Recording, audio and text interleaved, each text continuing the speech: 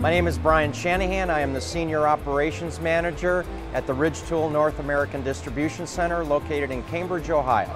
Well, we run three shifts. Uh, we have 100 employees across those three shifts.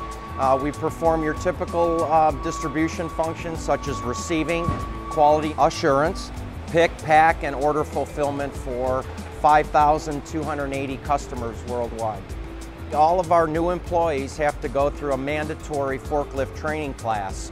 And what we did is we worked with Crown and sent three of our employees through the Crown Train the Trainer program so that internally now we can conduct that training and uh, Crown was responsible for training our trainers.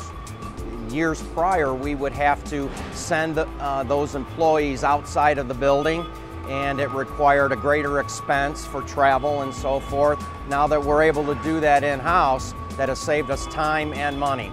And everybody knows in the distribution business, time and money is important.